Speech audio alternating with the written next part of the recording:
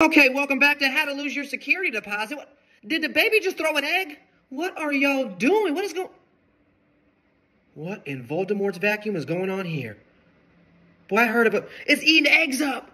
I've heard of a super soaker, but boy, this is a super sucker. What kind of sorcery is this? This is not an ad. I paid 400 bucks for this experiment. This thing's supposed to suck more than a pimple on picture day. It's supposed to vacuum and wash your floors at the same time. Auto mode. This thing got a better dashboard than a Hyundai. I'm more excited than Martha Stewart on her release date, man. I am pumped. First, we're gonna spill the beans. Sour cream. Uh-oh, spaghetti-o. Oh.